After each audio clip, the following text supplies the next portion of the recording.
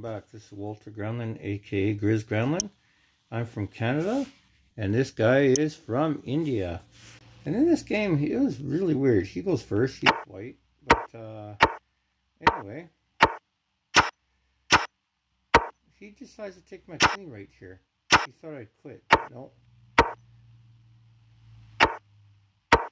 It is a very interesting game.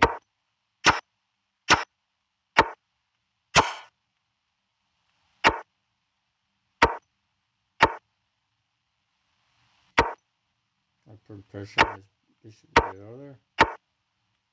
He thinks he's going to take my knight, so I move it. He thinks, oh, okay, I'll take that.